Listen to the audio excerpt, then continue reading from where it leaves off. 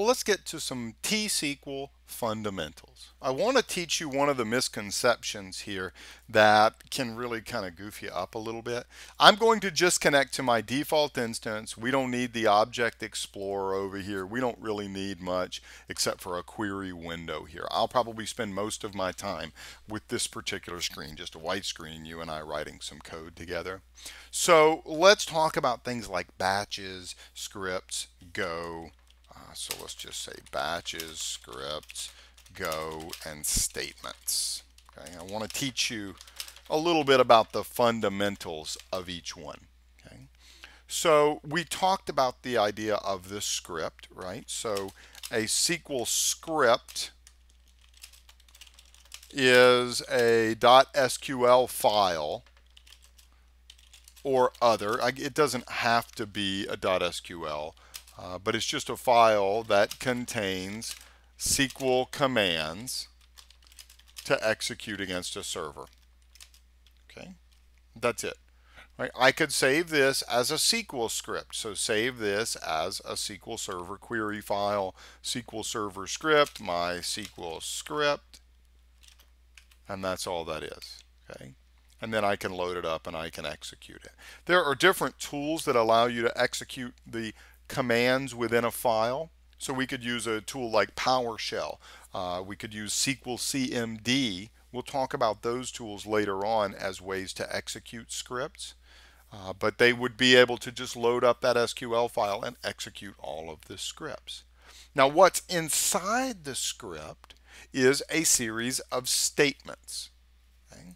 So a statement be something like this. This would be a statement. Select all from sys.databases. And you see the IntelliSense kicking in here on mine.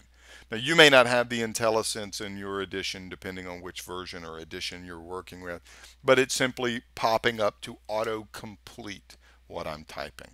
Okay? Now a statement like this, or we would have a statement that could begin with insert. Right? A statement is a command to execute.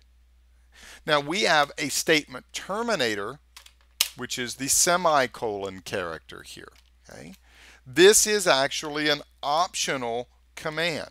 So the semicolon is optional except in one instance, and that's working with what is called a CTE, a uh, we cover those really more in the query writing class, course 160, a common table expression. We do have to have those there, but you can use it as the statement terminator. Okay, this is what it's used for in other languages. It tells SQL, hey, I'm done. That's the end of this select statement. I'd like to begin another one. So sys dot, and I don't know, sys dot all views. You'll probably not see most people using the semicolon in the Transact SQL world unless they've come from another language. What I've found is people coming from Oracle and DB2 just naturally put the semicolon in their statements. People who learned Transact SQL as their first language, they don't. Okay? Because it works fine. Like, for example, I highlight these, I run them, I get two different result sets, one for each statement. Okay. Here's the top one, here's the bottom one, and I can flip between them in the result set pane down at the bottom. Okay. But even if I take off the semicolon, it's the exact same thing. Okay. There is no difference. SQL is smart enough to know, hey, the, this is the beginning of a new statement. So using the semicolon just tells SQL Server that's the end of this statement. Okay? If I came over here and I put the semicolon after the from and I run that, notice I get a syntax error because I've told it, hey, that's the end of the statement, and it's not expecting it there. It's looking for me to tell it which table or which view to select from. Okay? So it's just the statement terminator.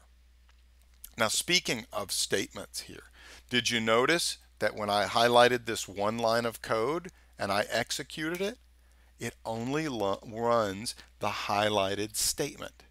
It didn't run the select all from sys.all views. I could run that if I highlight it. Okay? And before I highlighted both and I ran them. The management studio is fairly smart that way. If you have nothing selected at all and you say execute, it executes every statement in the file in sequential order, meaning that it won't execute this one until this one is finished. Okay, so it'll wait for that one to complete and then it will do a serial execution. Now, if I want to though, I can highlight specific sections. Okay, so I highlight these and we're good. Okay, it just runs those two. Now this is a comment, right? The two dashes right there is a comment. So when I run that, there's no executable statement for it to perform. So there's nothing for me to do. Now, coming down here, let's talk about the idea of the word go. Surely you've seen this. If you've worked with any sort of scripts before, you've seen this word go. Go is the batch terminator in SQL. So go is a special command that is a batch terminator. So then that means we've got to understand what a batch is. So then a batch is a set of SQL commands that get sent to SQL Server in one network packet. Okay. Now, when we get into a couple of videos from now, after we do our exercise here in a few moments, we're going to talk about variables and it's going to become a little more important to understand what a batch is. But right here, we have two batch terminators that's not a SQL command. That is not a SQL standard. This is something that the Transact SQL language, it's not even really part of the Transact SQL language. It's something that the Management Studio uses as a placeholder. This says, hey, take everything before me, wrap it up in a network packet, and send it to SQL Server. Now, I understand that batches are a little bit hard to understand right now. Let me do this. Let me show you something else. I'm going to use a different database. And don't worry so much about the queries that I'm writing here. Uh, just give me a second to, you know, don't worry so much about all the junk I'm writing. Just give me a little bit to, to write it in here.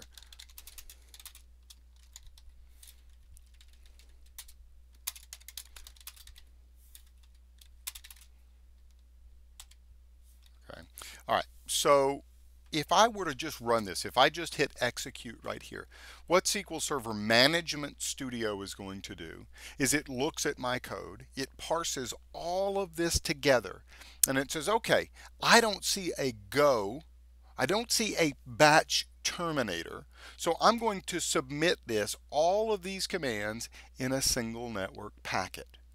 So I say execute, and it runs the queries. And down here in the result pane, it stacks them on top of each other. Here's dim account, and you can see I could scroll down to get to the next result. Here's the currency, and then I scroll down, I get to the final result, which is selecting from the dim date where the calendar quarter is 5.